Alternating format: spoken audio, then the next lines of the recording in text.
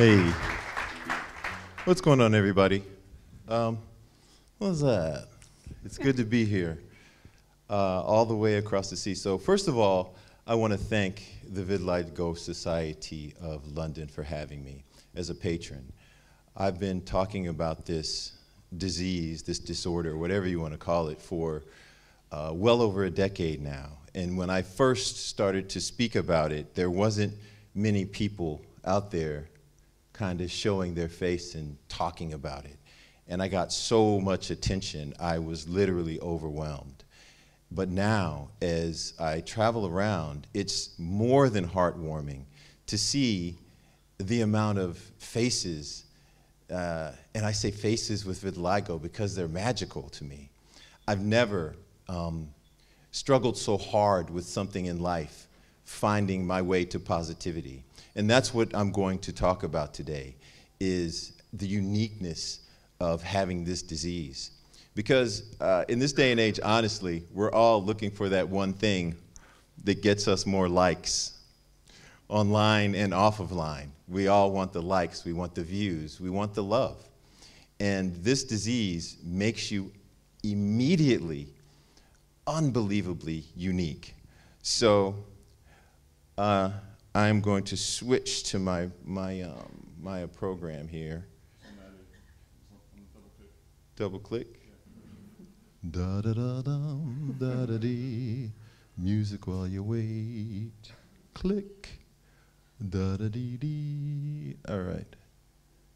Okay, before I start, I wouldn't be a good guy, a good TV guy, if I didn't bring a little TV with me. So I never assume that everybody knows who I am or what I do. Here, you call it a TV presenter. In uh, Michigan, where I'm from, it's uh, anchor reporter, and I've been covering entertainment since 1991.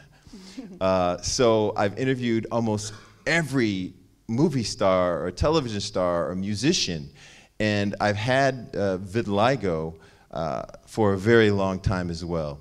And it's an interesting duality to be in a place that is so unbelievably vain, like Hollywood, and deal with that all the time, and still have this disease that most people think a TV presenter could not live through. So the story today is not only about how I found my way through this disease and remained myself, because a disease can change who you think you are. I mean, we all have those things that make us different. We all have those things that we think we can't tell other people about. But today, hopefully, my story will be an example of how you can not only have this and live through it, that it actually may be one of the best things that's ever happened to you. So we'll talk about that a lot more on the other side of this. But for those people who haven't seen me on TV, and that's probably everybody here in this country, take a look.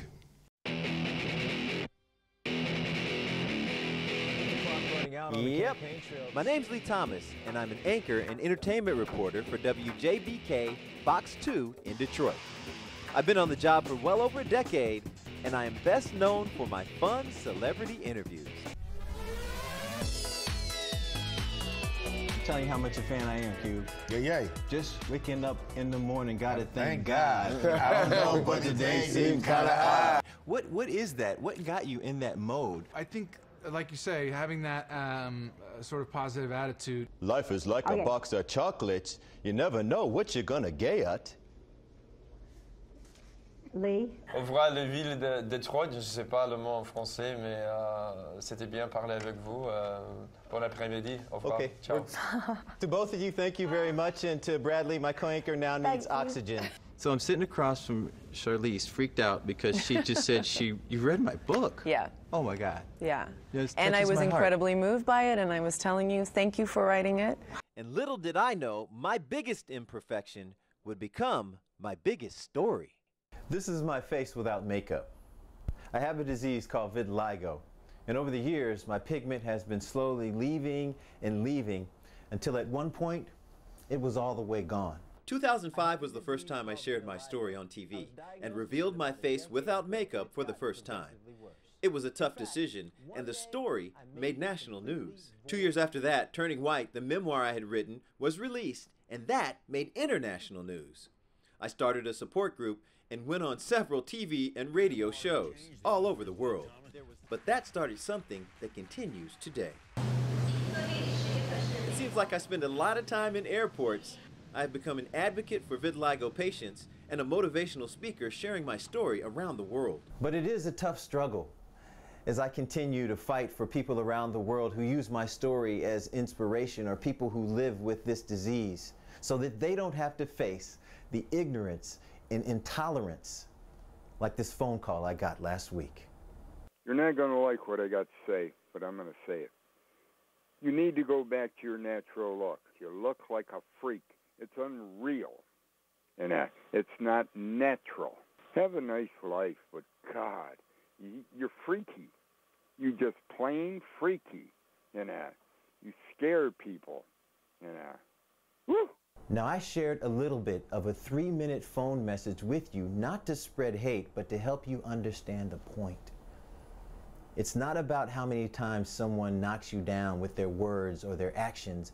It's about how many times you get up and find a way to help your fellow man by living your life, sharing, and helping in a positive way. But this journey has turned into so much more than a guy with the disease. It's a life changing, heartwarming mission as I show myself unmade, unclothed, and unafraid for the whole world to see. You know, it's never it's never really been easy to call to do what I call living out loud. Uh, but as I travel around uh, the world speaking to different groups, I've received so much love and compassion.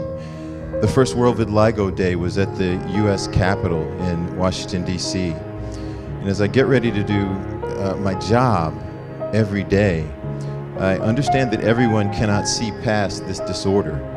Some people can't hear what I'm saying when uh, they see the vitiligo.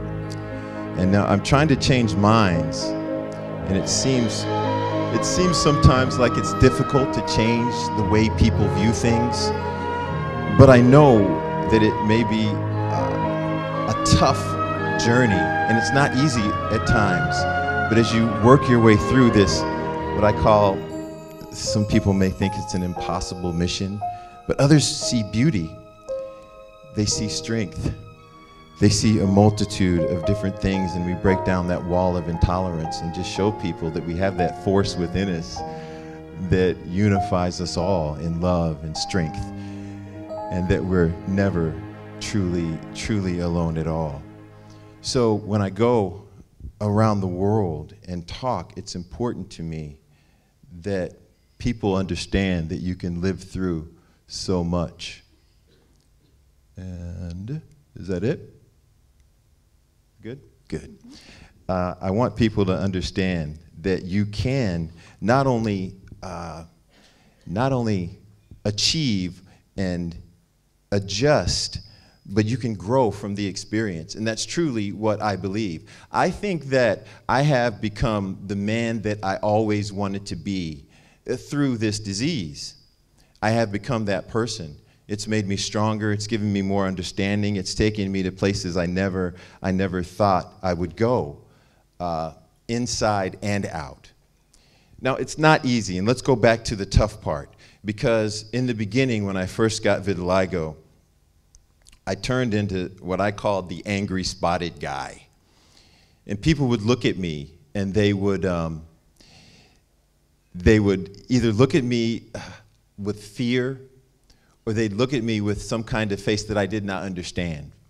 And so my reaction to them would be what most people do. You know that, that uh, face you get when you're walking through the city streets or you're walking through the tube and you don't want people to mess with you, so you have that tough face on so that everybody leaves you alone.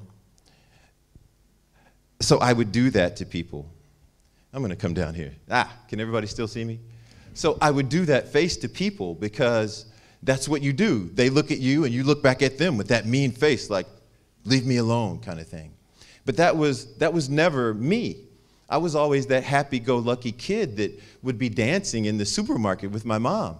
But because I got this disease, all of a sudden I turned into this face of anger or, or, or, or, hurt or something that really did not express who I am. So one day I I just decided that I have to do this differently. Because you look at somebody with fear or even anger, and you know what you get back? Fear and anger. You get it right back. And I said, maybe if I give something else, I may get something else back. So I called this, I'm very simple in my approach to things. I'm not a doctor, I'm not a scientist. So I just called it opposite day, something I used to do when I was a kid. So when people would look at me in a way that I did not understand, I in turn would smile and give him that, you know, megawatt smile that got me that TV job in the first place. so the guy looking at me, and I'm in the line at a grocery store, which everybody goes to grocery way too much because I got grocery store stories. But I'm looking, he's staring at me, and I can feel him looking at me.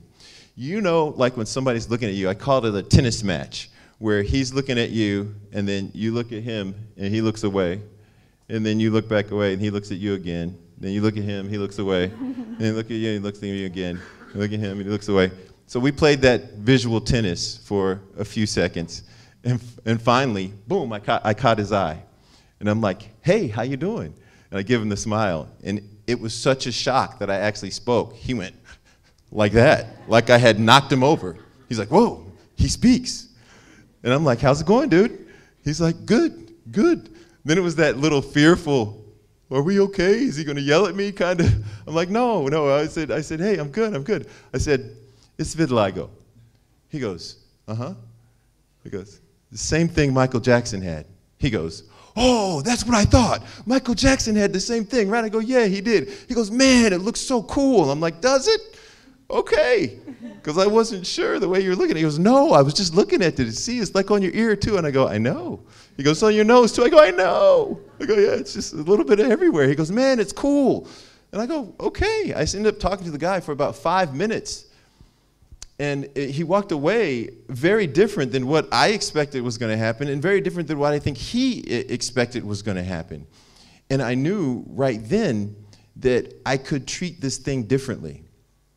But the series of lessons, uh, lessons come in, in bundles to me. Until you learn the lesson, it keeps coming. So uh, it, it didn't turn into, you know, what do you call it, uh, rose-colored glasses. It didn't, everything wasn't great after that. It still was a difficult process. And as I tried to react in positivity, better things started happening.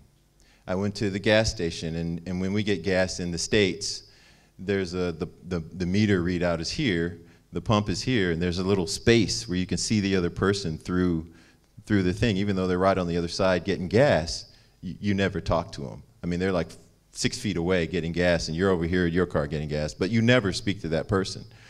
But I was getting gas one day, and I could feel the lady staring at me, and I thought it was going to be a visual tennis match. So I look at her, and she looks right at me. She doesn't stop staring at me. And she looks at me and goes, mm. You know, I call that stink face. I have names for everything. I call that stink face. It's like when people look at you and they think they smell, it looks like they smell something. So they do their nose like that and they look, give you the like squinty old face. So she gave me stink face, looked me right in the eye. And I'm like, hey, how you doing? Stink face. Ugh. Huh. I'm like, okay. So I get my gas. We meet at the door going into the gas station to, to uh, I was going to get some chips. I'd already paid at the pump. But she, uh, we meet at the door, and she, um, kind of does the same thing. I, I open the door, I hold it for her. She looks at me and goes, mm. And I go, mm. And she, she goes, What's wrong with you? And I go, Nothing except the price of gas. What's wrong with you? And hit her with the smile. And she goes, She was shocked that I was still happy. And, so, mm. And I go, mm. And so she turns around and walks in the gas station all angry. And I just started laughing because so many times, you will be faced with absolute negativity. But don't allow it to become what you are. That is the choice. Now, she walked away, walked out of the gas station angry. I walked out of the gas station laughing because every time I went, mm, she got mad. So I went, mm. She's walking out of the gas station She's like, mm, bye. Mm. it's just a choice to be positive no matter what someone gives you because you cannot control other people. And 90% of the people will give you something positive. But there's that 10%, that 10% that just doesn't have anything positive to say. You know that everybody knows someone that you walk up to them in the morning and you go, "Hey, how you doing?" and they go, ah, "I'm okay." And you're like, "Are you?" Because you don't seem okay. And no matter what you say to them, they're still, ah. So that one 10% is what you got to have your arsenal ready for. But the biggest change for me happened, the one that truly changed everything, was uh, I met these two little girls, separate times, about two and a half month period apart. These two little girls that I met. They're, they just have an indelible mark on me because what happened with me and them changed my life from that point forward. Now, the first little girl I met, I was getting ready to go to work.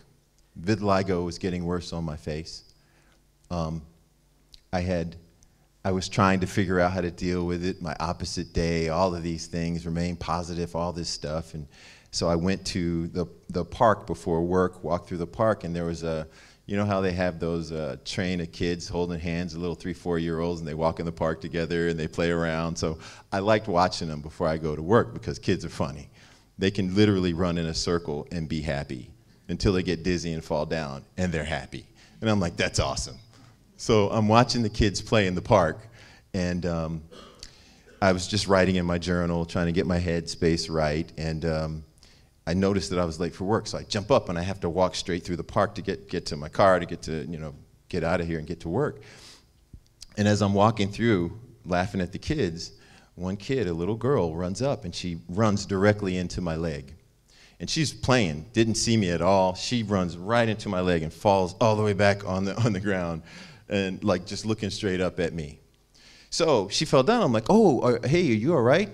And as soon as I look at her, this, this little girl, she, she cries. She, she screams.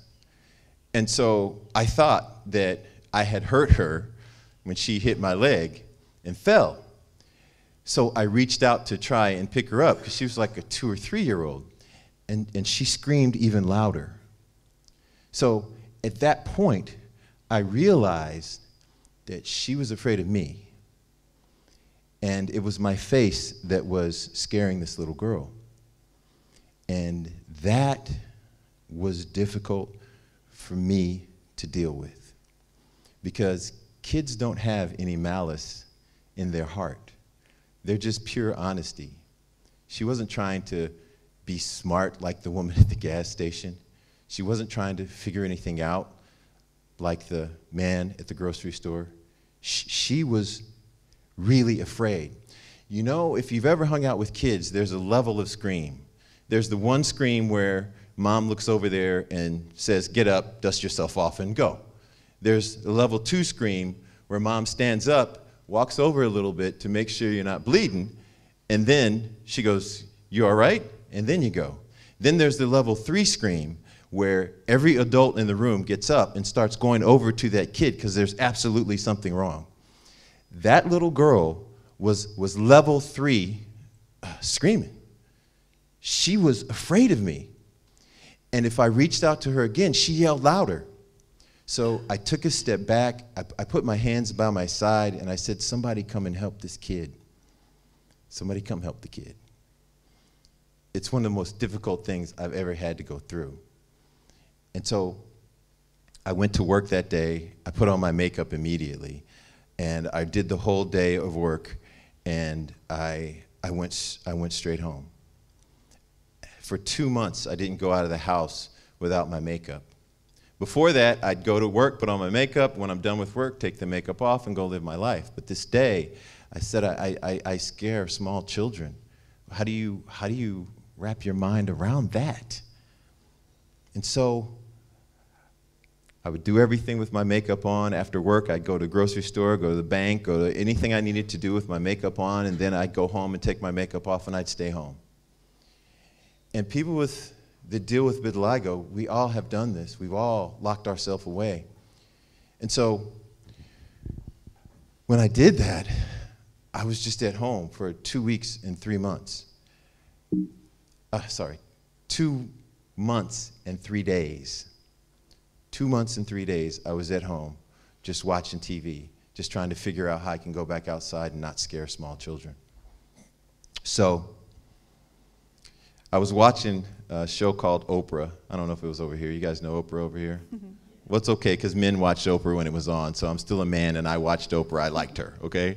So I was watching Oprah one day, and obviously I was single at the time because my basketball and my basketball shoes and my shorts and pretty much everything was on the floor by the TV in the living room, which I've learned is not where you should put your stuff, I hear. So I look at my basketball stuff and I say, I ju- you know what? I just want to go play ball. You know? I just want to play ball. If the dudes that I play ball with don't want to guard me, or some kid comes in the gym and starts screaming because I have vitiligo, I'm just going to have to deal with it. Because I just want to go play ball, man. So I go to the gym that I had always gone to, YMCA, and I played ball with the fellas who saw my face change from what it used to be to what it is. And, and I played, and I saw kids would come in the gym, they'd look at me for a few minutes, and then they'd go away. Everything was cool. Nobody cried, nobody screamed. So I'm like, cool. My thought is, go to places that they had seen me before where my face changed and they knew me, so then I'd be cool because they already knew the deal. So I'd just go places I'd already been without makeup on. So I started doing that. And two months and two weeks later, I'm in a grocery store. Everything's going well. I'm going to the bank. People know me at the bank. Hey, Lee, nobody's screaming. Nothing's going wrong. About two months and two weeks later, I'm at a grocery store and I'm trying to get this, these rice cakes. I like the ranch flavored rice cakes. Don't hate me, I just love them. I can't help it.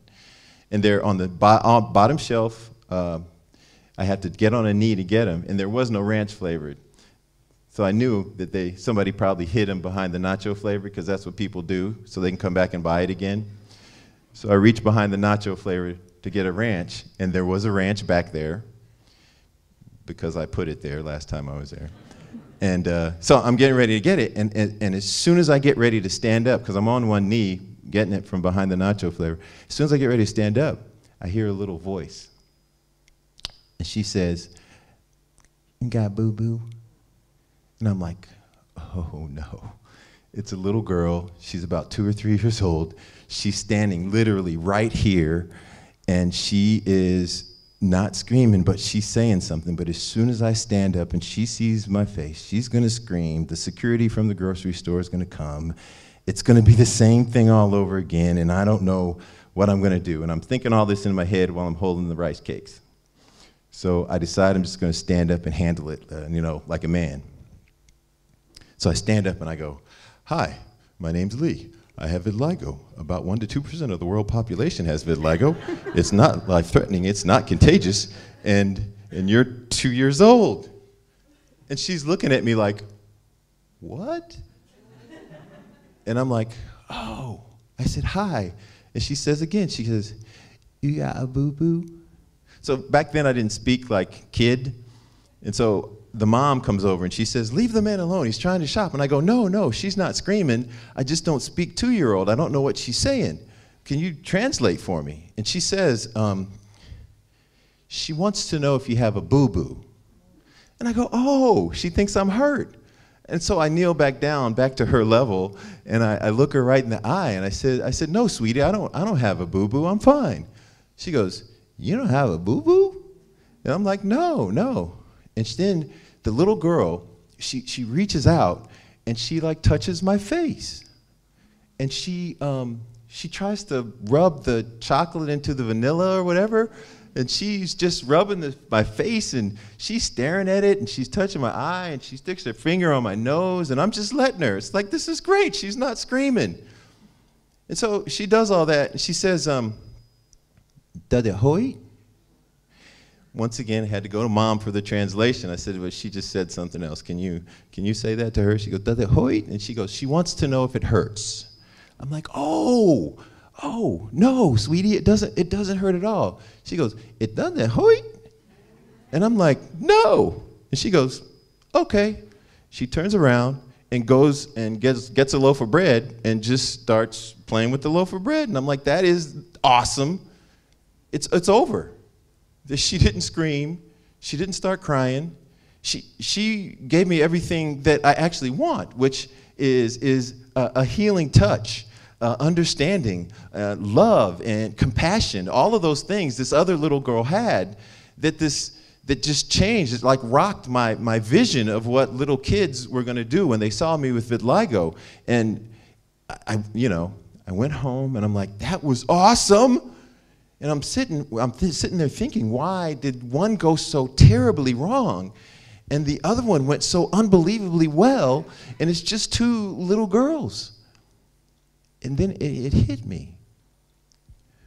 One of the little girls didn't know what it was. She had no idea. So she reacted in fear and not understanding. The other little girl, because she thought she knew what it was, because she thought it was simply a boo boo, she had no fear. All she had was compassion and understanding. The difference between one little girl and the other little girl was understanding. And how do people understand you? It's a, simply by educating them. Simply by educating them so they understand what it is, and all of a sudden you get all of those things that you want compassion, understanding, love. It was great. So from that day forward to, to this day, actually, I knew that I had to help people to understand what it was. I wasn't going to just walk up on the street and go, "Hey, I have, my name's Lee. I have vitiligo. How you doing?" That wasn't that wasn't my mission. But I did open myself up more to helping people understand vitiligo. The next thing that happened, also, its children have changed my life more than anything. And this next person that I spoke to was a 14-year-old boy. So I'm in a good, much better place after the two little girls. And I'm working, and I wear makeup on my face, like you saw, but I never cover my hands because people with vitiligo know that these are vitiligo hands. Black guy, white hands, must have vitiligo. And they would call me and reach out to me because uh, they would see me on TV and see my hands. So one day this lady calls and she says, my son, he's 14, he has vitiligo. Do you mind talking to him? Because he, you're a role model for him. And I'm like, I am? She says, yes, you're living, you're doing your job, you have vitiligo, you speak to celebrities, he just thinks you're the best. And I'm like, really? I'm like, yeah, have him give me a call. So the kid calls, and I'm talking to him on the phone for like 40 minutes after a newscast one day. And he, um, he's a real confident guy. Takes karate, he, uh, he's very active in school, a student. He's very confident sounding on the phone. And I'm like, kid, why are you calling me? You, you got it together. And he says to me something that changed my world. The kid said to me, uh, Would you show your face on TV without makeup?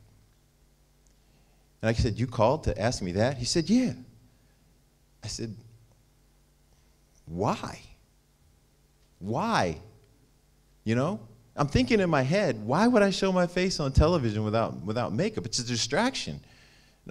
Why would, that's not going to help me at all. I'm thinking this in my head because my boss had asked me, why don't you show, you know, do a story on yourself? And I'm thinking, my boss just wants to, here's the, the black anchor turning white, dun, dun, dun, dun, dun, watch the story at five, dun, dun, dun. They get a lot of promotions, they get a lot of attention, and I don't even get a pay raise. I get nothing. So why would I do that? So I tell my boss, when she asked me, I said, you, know, you can't tell your boss no. So I said, let me think about it, which meant no to me. So I told her, let me think about it for two years. Let me think about it.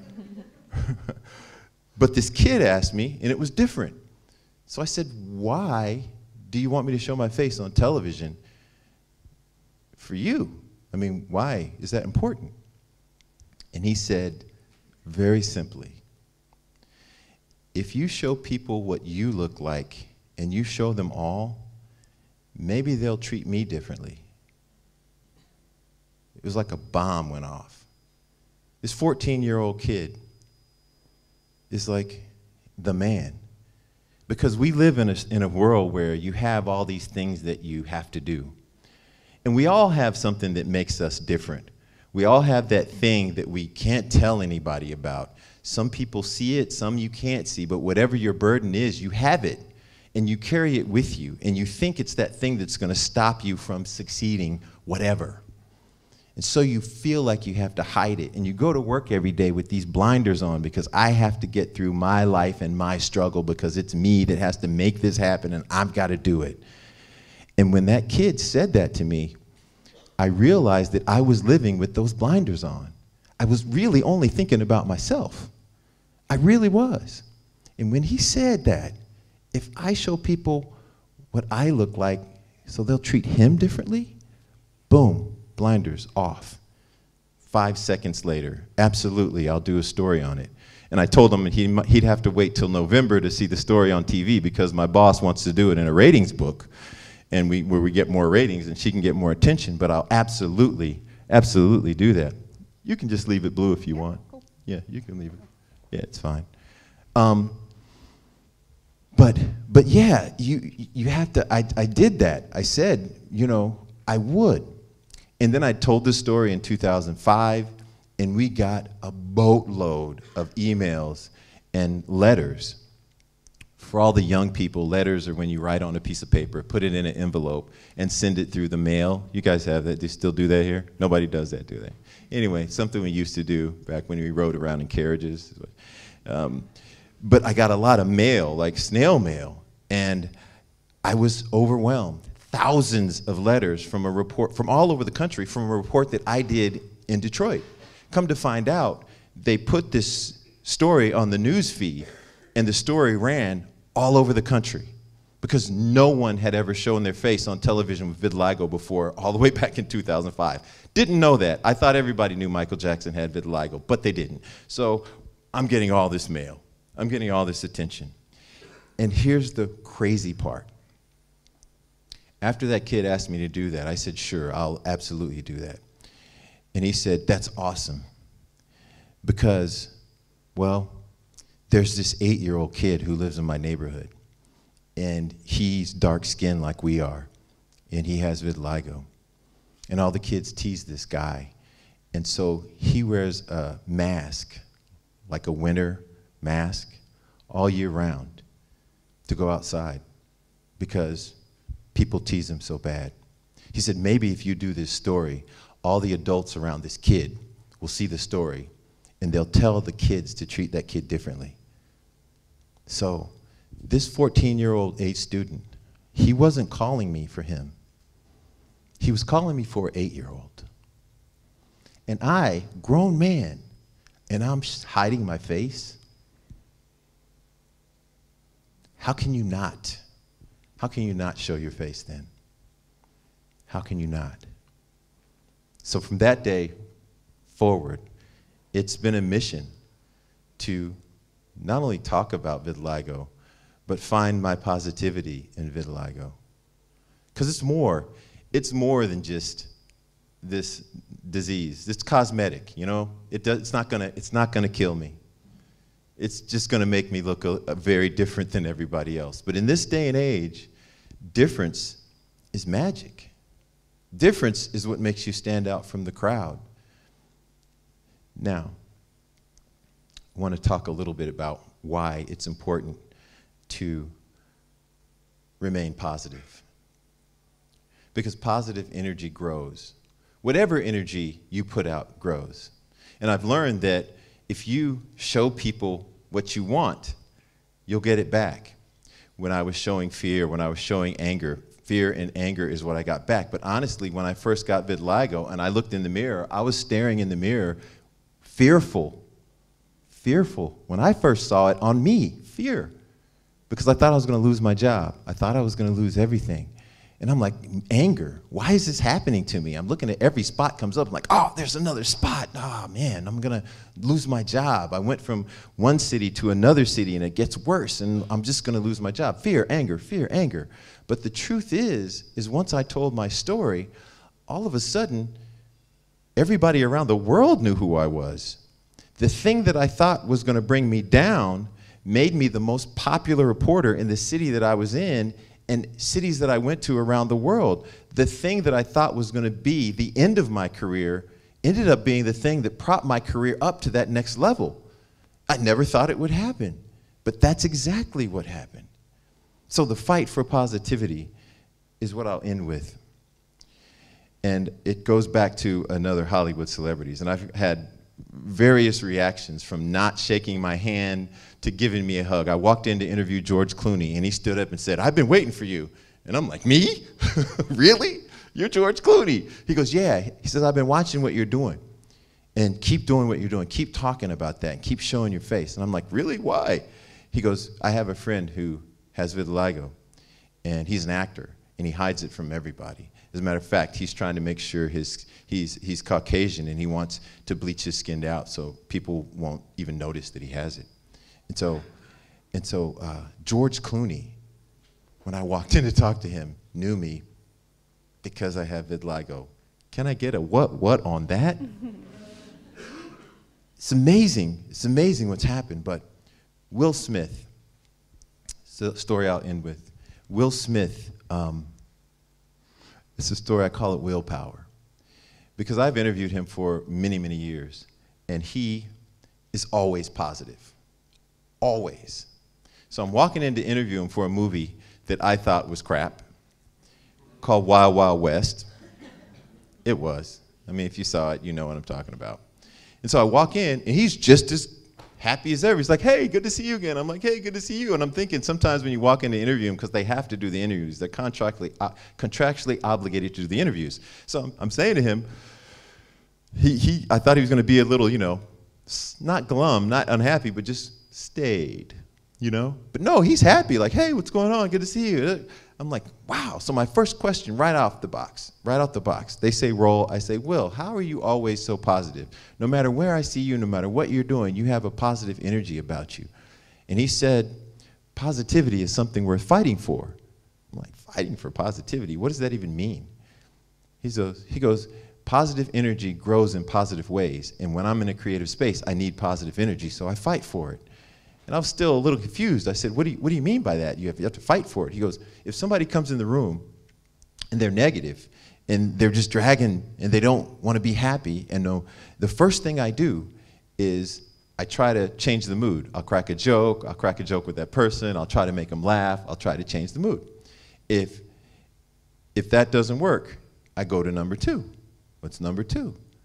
I said, well, if I can't change that person's mood, and believe me, I will try, and if I have power in that room, I ask that person to leave. And I go, How can you not have power in the room? You're Will Smith. He goes, No, no, no. He said, There are people who own things that I work for, and if they come in the room with negativity, I can't ask them to leave. And, I, and he said, Then there's the third thing. And I said, Well, what's three? If you can't ask the big wig from the studio to leave, what do you do? He goes, I leave. I go, What? He goes, I just leave the room. He said, positivity is something I have to have in creative space just to make it work because positivity grows. If I can't change the mood, if I can't make the person leave, I will leave the room and come back later when the negativity has cleared. And from that interview to this day, that's how I roll. Because positivity is something that is absolutely contagious.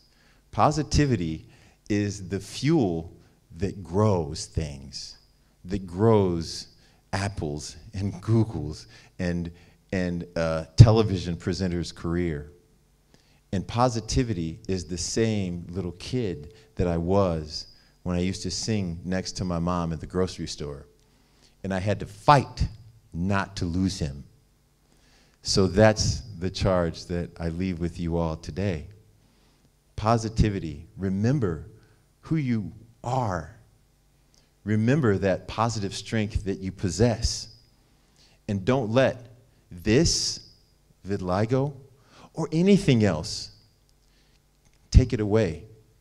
Because when that happens, when you allow that to happen, it's really you allowing you to change because you're the person who's responsible for the creation that is you. And it all starts in here.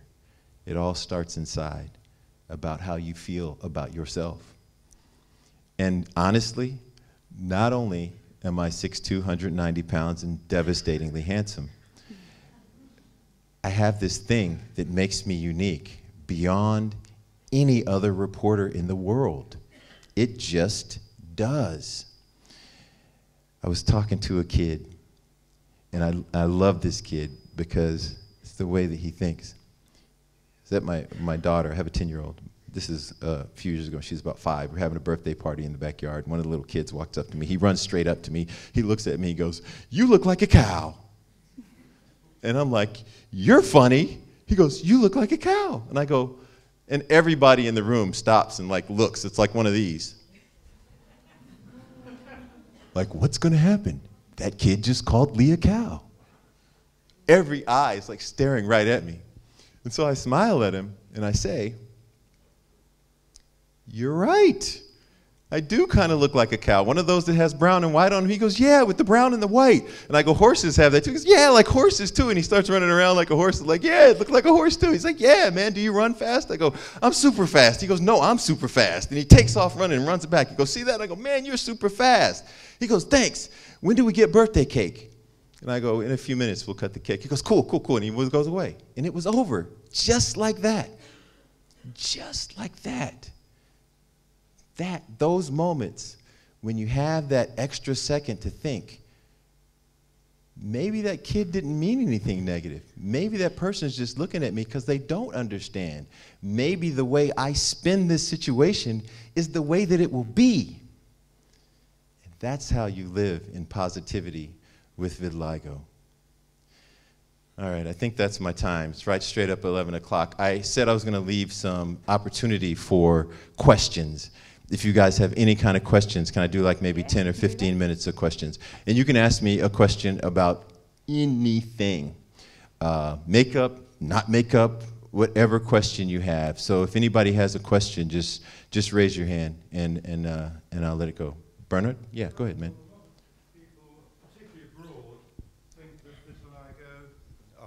A lot of people, particularly abroad, think vitiligo is contagious.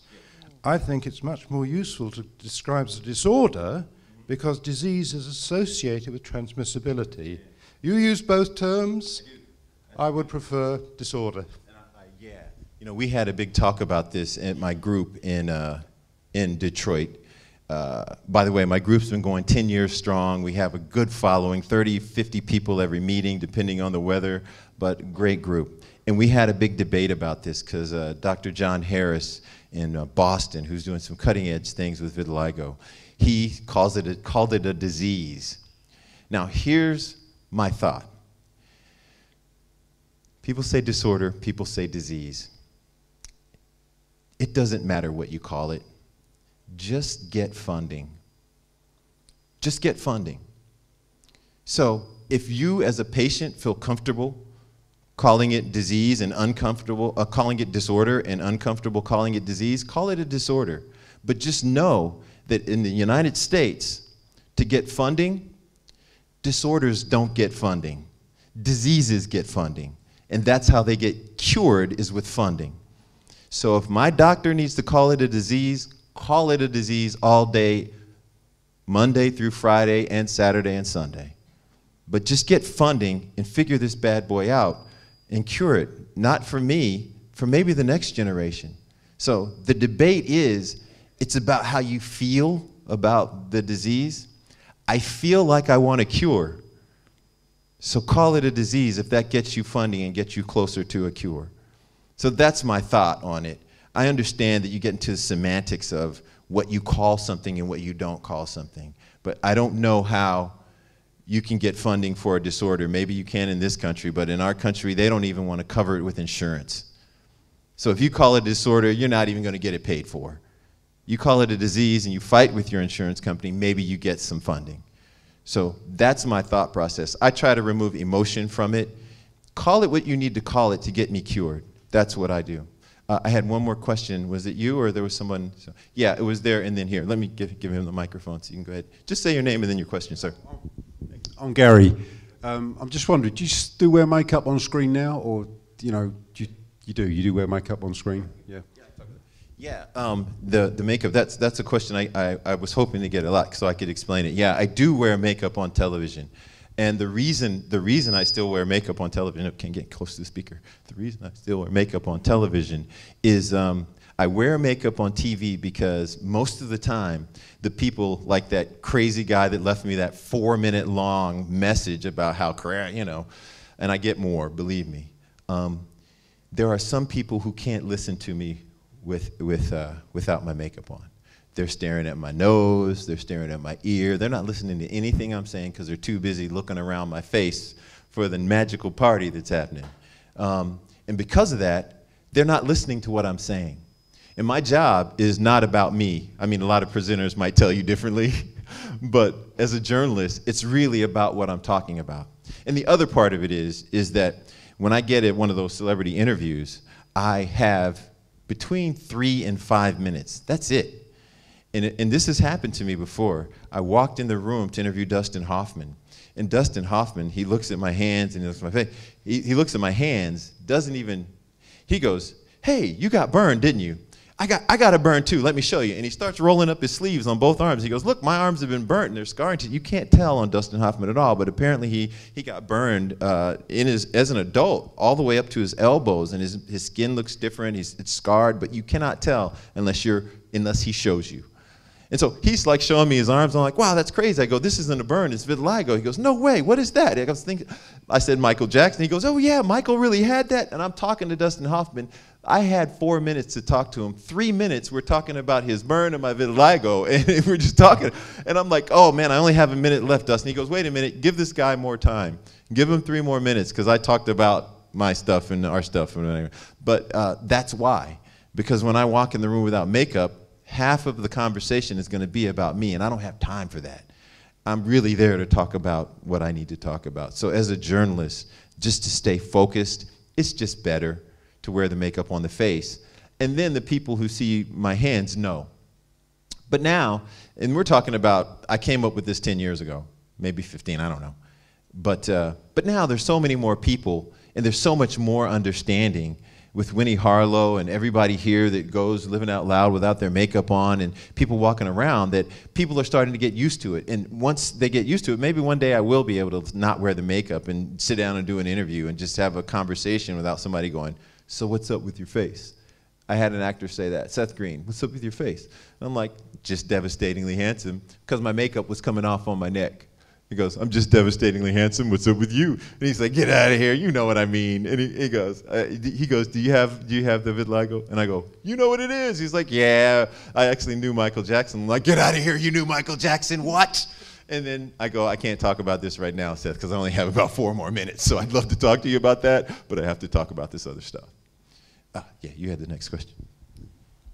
Uh, my name is Anna. Uh, I have a vitiligo uh, since I was six years old. Um, in my case, um, I really needed attention because I'm coming from dysfunctional family, and actually, people gave me attention. So vitiligo worked positively for me.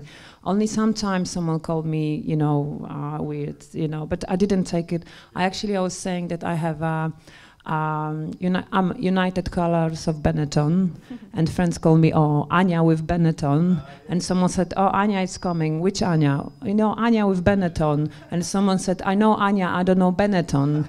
It, you know, so I, I met so many, you know, um, jokes. I'm, uh, I'm also a public person in Polish community in UK. I run radio program, weekly radio program. I'm counselor in training, and I wonder how, if you can give suggestion um, I'm quite pale, so you don't see I have vitiligo all over my, my, my, my body, but you don't see it really. It's on, on, on me. So I wonder how, how can I help people? What would be your suggestion? What, you know, in a public space I could do it to raise awareness in my community?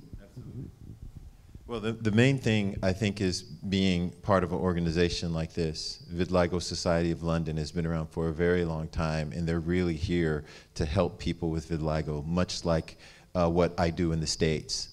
And when you get connected, when I started the group in the United States, I had no idea of the need. And really, people just want to when it comes to something like this, this emotional warfare that you go through when you have vitiligo, it's really about knowing that you're not alone.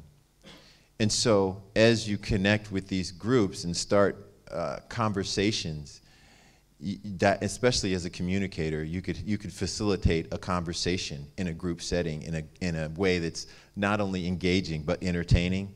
And if you are able to do that, you'd be invaluable to a group like this because that's what makes my group is because I make sure one thing I hate I hate uh, pity parties and I hate boohoo sessions. Now we speak with a lot of heart, but we have problems and solutions. So that's what I say is bring to the table in a big group, a small group, uh, open up the communication online, on the radio, whatever platform you have, so that especially on World Vitiligo Day or Open Day or the Vitiligo Society's events, bring people together and help them to understand. Because like I said, I really believe that understanding is the difference. And as a communicator, you're able to not only communicate, but educate at the same time. But as you connect with this group, there's a group in Paris that does the same thing, and there's a group, there's groups around the world in Italy that do the same thing. And I didn't know that either until I told my story and you may be surprised. Now, there are places, people in India, all over the world, people have vitiligo. They just don't talk about it. So you said you're from Poland. Is that you? You would be surprised if you opened up to tell them. And, uh, and there are people in my group as well who are light skinned, and they they you can't necessarily tell that they have vitiligo. One of the ladies in my group actually bleached her skin, so she was one unified pale and she just looks normal, but I know that she has vitiligo, and she talks about that. And one of her talks is what is important for her with vitiligo, because your, your journey is unique. I mean, you can't just walk around with a t-shirt in the sun. You'll burn super fast, like I do. And so without any pigment, even though people can't tell, you still have to protect yourself from the sun. You know that but nobody else knows unless you explain that and that can be part of what you talk about as you go you know? So everybody has a unique journey and how you handle it, it is truly unique to you and there's nothing wrong with any of it. I do say take your time gather your strength hide at home if you need to. There's nothing wrong with that but the other side of it is, is don't lock yourself away. Come back outside. Engage in places where, it's, where you can engage, in places like this. My support group was started because I wanted kids to be safe. We have a movie day where I get a movie theater and we watch whatever movie everybody picks, and the kids come and everybody's there and nobody stares at them because everybody there has vitiligo. We get three or four hundred people in the theater. We all watch a movie, crack some jokes, have some popcorn, and nobody says, "Look at that kid," because every kid in the in the thing has vitiligo. Those are the kind of things that you can start that will change things.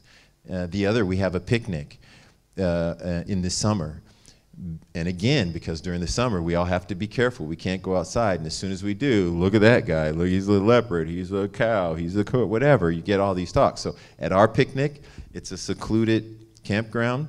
There's a band shell that covers the area with a cook place that's under the band shell. And so my picnic is specifically for people with vitiligo. You can go out in the sun or you can stay under the band shell. We have a barbecue, we have music, Nobody's going to point at you. Nobody's going to say anything. And these places that we create, meaning we, I mean the vitiligo leadership. And when I say leadership, I really mean adults. I'm talking about adults because adults are going to do what they're going to do. But this is really about the next generation, about kids that have this and helping them get past it. You create those spaces of strength for kids so that they can gather their strength at this place with you and then go out into the world and face whatever they have to face and then come back with the next meeting and the next event and gather their strength again and then go back out in the world and live with vitiligo. That's why we're here. I mean, you want to make money, you want to do well, all those things, but we're really here to help each other. And understand that. There's nothing in this world that happens by yourself. A lot of times people think that you're a solo entity, that you're doing everything by yourself. You didn't, you're not. If you, if you just look at your clothing, I'm pretty sure nobody made their whole outfit and wore it here. Somebody else made it so that you could wear the clothes you're wearing. You open up your refrigerator, it's the UN in there. It was grown all over the world, especially in the United States. You look in there, you didn't grow any of that, you didn't harvest it, you just bought it. Somebody else made the food that you eat, somebody else made the clothes that are on your back, somebody else made the car that you drive. Every part of what you do, somebody else was responsible for. We are here to actually help each other, subtract money from it, and that's why we're here. Especially the adults. We're here to help the kids get through this, to help them understand that you can have strength and honor and power. Looking like this, you can actually be happy. Looking like this, you can date attractive people. Looking like this, you can interview Halle Berry three or four times. Looking like this, you can walk in to interview Charlize Theron and she starts smiling and says, I read your book. What? And you're hot. That's what I said back to her. Thank you. You can have a fantastic life. This is just something you got to deal with, just like anything else. Anybody else had a question? One more question, and I think that's going to be my time. Yep, one more question there. Hi. I just want to ask what age you were when you started getting vitiligo. Uh, she asked what age I was. Uh, so I was, I was 25. I remember the day, the exact. I mean, we all remember the first spot, the day of the first spot. I don't know. I do. I was. Uh, I went to the barber to get my hair cut, like I did yesterday. Here, I got got my hair cut yesterday. You can see it on Instagram. It's really anyway. I think I look nice. Um, I went to the barber to get a haircut, and I got a fade. I used to have hair on top many years ago when I was younger. It was nice. Uh, and uh, I got a fade where it's tight around the sides, right? And so he gave me a cut real small, and there was a spot on the back of my head. So they give you the mirror. You know how barbers are. They do their thing, and they brush everything off, and they flip you the mirror like, here, I'm fantastic. I just did that for you. So I get the mirror, and I look, and I look in the back, and I go, hey, man, you nicked me in the back. I thought he had nicked my head, you know, like cut me or something. I just didn't feel it, and I'm looking. I go, you nicked me. He goes, no, I don't nick people. I'm a professional. I'm like, no, you nicked me. It's right there. He goes, no, that's your head. I go, it's your head. And then I look a little closer and I go, no, you're right. It is. It's my head. And I got a spot. So I did what every grown man would do when something happens. You get a spot and you don't understand it. I did what any grown man would do. I went straight home and I called my mom. I said, Mom, I got a spot on the back of my head. What do I, I don't, I don't know what to do with it. She goes, What's it look like? And I, I talked it out with my mom. She said it was a stress mark and that it would go away. My mom was actually right. The spot went away, but then two more came up on the other side. And then one came up on my hand. And uh, mom said, Go to the doctor the second time I called.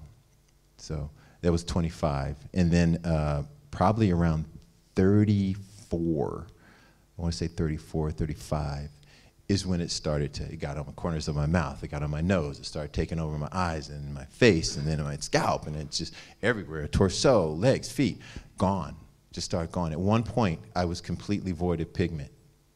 I think when I met, uh, I met Simon, one of the trustees of the Vitiligo Society. I don't know if he met me when I had no pigment, but I met him in Jordan when I was doing the Dead Sea treatment with Dr. Schallreuter. Some of you guys may have heard of it. Um, but I met him over there when I was completely pigmentless. And there's some videos online you can see the pigmentless. But uh, I've had it for many, many years. And it took me probably, I want to say, uh, 10 years, 15 years to really get comfortably past it. Past it. But, uh, but now, I, hopefully I have a roadmap for people to get there quicker, you know? That's why we're here, is to leave the breadcrumb, breadcrumbs for other others to follow. So hopefully that's what I've done here today. Once again, I want to thank you guys for listening. Thank the Vitiligo Society thank everybody, Natalie, Simon, everybody that's here. Just, I appreciate you having me come, and thank you guys for listening. And at the very least, know that you can live, uh, live in positivity, live a fantastic life, no matter what you look like. Thank you guys for the time. I appreciate it.